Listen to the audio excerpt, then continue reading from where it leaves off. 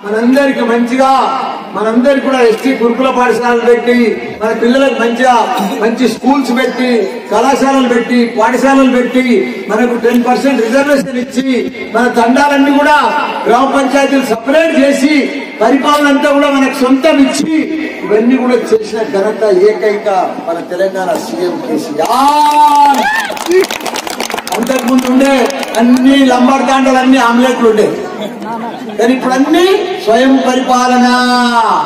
మనమే సర్పంచ్ మనమే అంతా వార్డ్ మెంబర్స్ మనమే సర్పంచ్ నాయక్ మనమే అంతా మనమందరం కూడా మన పరిపాలన మన పరిపాలన మన గ్రామ పంచాయతీ మన తండాలు మనమన్నీ కూడా అభివృద్ధి చేసుకొని మంచిగా ఎంతో అభివృద్ధి చేసుకొని మన పిల్లలను గురుకుల పాఠ పాఠశాలలో చదువుకొని కేజీ టు పీజీ మన ఎస్టీలకు అందరు కూడా సీఎం కేసీఆర్ గారు ఇవన్నీ కూడా మన కళాశాలలు తెలిసి మన అందరికి కూడా బ్రహ్మాండంగా వీళ్ళిద్దరు చూడు అప్పట్లో కష్టపడ్డారు.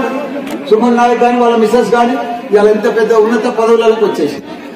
మన పిల్లల కోసం మన ఓట్లన్నీ వాడుకున్నారు. గత యాభై డెబ్బై ఐదు సంవత్సరాల సంది కూడా కాంగ్రెస్ కానీ బీజేపీ కానీ మన ఓట్లు వేసుకున్నారు వాళ్ళు సీఎంలు అయ్యారు బిఎంలు అయ్యారు ఎమ్మెల్యేలు అయ్యారు మంత్రులు అయ్యారు కార్పొరేటర్లు అయ్యారు. కానీ మనకి ఏ రిజర్వేషన్ కూడా తీసుకురాలే.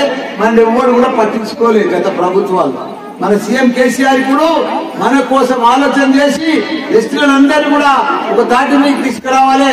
వాళ్ళందరూ కూడా పొడి భూములు ఇవ్వాలి. వాళ్ళందరూ కూడా దళిత మన రైతు బంధు ఇవ్వాలి. నెక్స్ట్ వచ్చే టైంలో వాళ్ళకు కూడా దళితుల మాదిరిగా మందు మాదిరిగా ఎస్టీ బంధు కూడా ఇవ్వాలని ఆలోచన చేస్తున్నారు ఏకైక సీఎం మన కేసీఆర్ గారు. తప్పకుండా మన పిల్లల్ని బాగా చదివించుకోవాలి.